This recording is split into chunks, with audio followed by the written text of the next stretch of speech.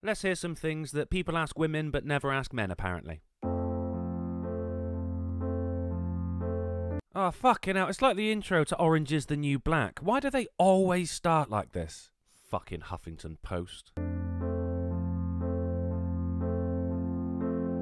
Don't be so bossy. Well, then stop being so fucking bossy. Your dad will have to chase the boys away when you're older. Are you offended by that because of the implication that you're pretty? Or the implication that when you're older you won't be able to take care of yourself and you have to get your dad to do it for you? Either way, honey, looking at you, it's not going to be an issue. You look so pretty.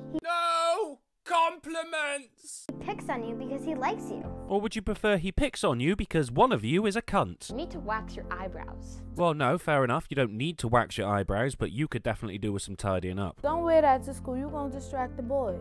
No one said that to you. Oh, you. you like video games? The boys must love that. Doesn't that say more about boys? Don't be a slut. Looks like someone got caught being a slut. No guy wants to have sex with a virgin. Bullshit. How much did you have to drink that night? Well, I get asked that all the time. What were you wearing that night? Oh, that was about rape. Shocking. Why are you getting so emotional? Don't want to get asked that? Stop being so emotional. Stop being such an attention whore. Don't Funny how you make that statement on a YouTube video about women. Be so bitchy.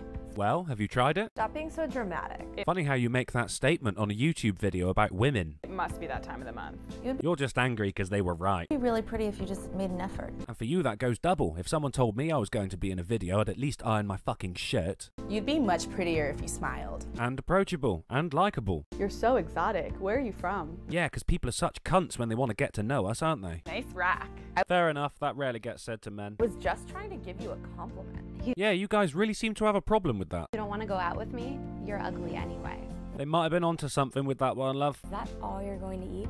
Oh, we've moved on to things only people with anorexia hear. You eat a lot for a girl. Yeah, not like that last one, skinny bitch. You drink whiskey? Why would no one say that to a man? You like football? That's so offensive, I don't know how you found the courage to carry on. Your drive is kind of intimidating. How is that a bad thing, heavily lipstick lady? That intimidating drive got you here on a Huffington Post video. Dream achieved! What war on reproductive rights? Oh, so as most people are ignorant about that, then the burden of informing them falls on you, you poor fucking thing. Can women have it all? Well, judging by videos I've seen on Pornhub, yes, and you're damn good at it. Are you like a feminist? Asking a woman if they're a feminist, what a cunt! Oh, you travel alone? Is that like an eat, pray, love thing? Fair enough, only a woman would get asked that because, to be honest, any man who's read Eat, Pray, Love is not truly a man. Always a bridesmaid, never a bride. That wasn't a question, so much for wearing glasses being a sign of intelligence. You don't want kids?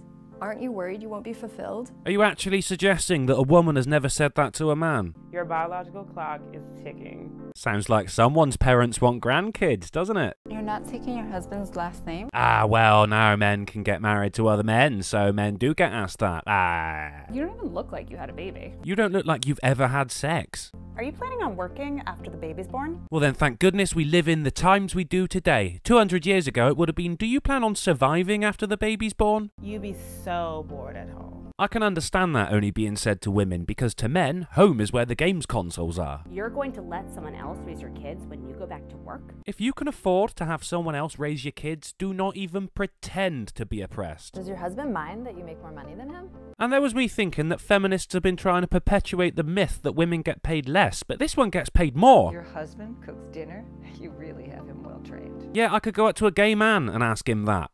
Or a widow if I was feeling like a cunt. You're dating a younger man? You're such a cougar. You're dating a younger woman, you sick bastard! He traded her in for a younger model. Are we talking about cars, yeah? You should feel grateful you were catcalled. Have you seen you, love? The guy who catcalled you was being fucking generous. Do you feel fulfilled that you were just a stay at home mom? Alright, now you're just getting offended by bloody good questions, aren't you? Isn't that outfit a little young for you? Nah, go on, Grandma, you do you. Get some of that young D. You still wear makeup. How adorable. Now that's something a woman would say to another woman, because you guys tear at each other like animals. You must have been beautiful when you were younger. Well, then I wouldn't have done so many drugs in the 80s because it left your head resembling something along the lines of half a pint of Guinness. Thank you for that waste of time, Huffington Post, and thank you guys for watching. I hope you feel dumber for it.